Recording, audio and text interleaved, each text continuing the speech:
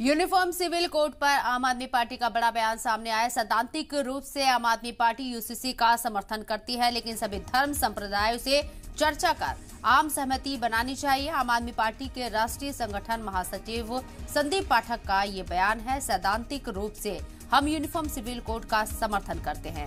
संविधान का आर्टिकल 44 भी इसका समर्थन करता है। आर्टिकल 44 कहता है कि यूसीसी होना चाहिए, लेकिन ये मुद्दा सभी धर्म संप्रदाय से जुड़ा हुआ मुद्दा है। स्टेक होल्डर्स से आम सहमति बनानी चाहिए।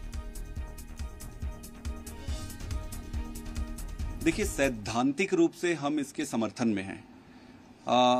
आर्टिकल 44 भी इसको इसका समर्थन करती है कि देश में यूसीसी होनी चाहिए। लेकिन चूँकि यह मुद्दा ऐसा है जिसमें कि सभी धर्म संप्रदाय से जुड़ा हुआ है, इसलिए हम ये चाहते हैं कि इस मुद्दे के लिए वाइडर कंसल्टेशन हो लार्ज स्केल पर बातचीत हो, सभी धर्म से, सभी संप्रदाय से, सभी राजनीतिक दलों से। कुछ मुद्दे ऐसे होते हैं जो आने वाले समय पर आप रिवर्स नहीं कर सकते। कुछ मुद्दे ऐसे होते हैं जो देश के लिए बहुत मूलभूत होते हैं।